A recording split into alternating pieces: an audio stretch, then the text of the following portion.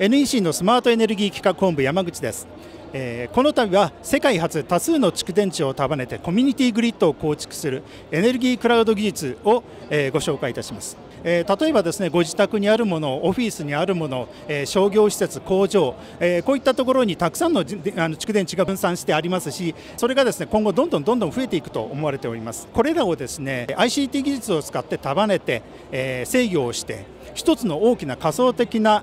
蓄電池にしてしまおう。それによって得られる大容量のあの大きな電力、えこちらをですね例えばデマンドレスポンスに活用したりあるいは、えで大きな電力を使う事業に活用したり、えそういったものに、えそういったことが可能となる技術でございます、え今回の技術はそれをえそれぞれ各々の電池の状態を把握しながら各々に適した重放電制御を行い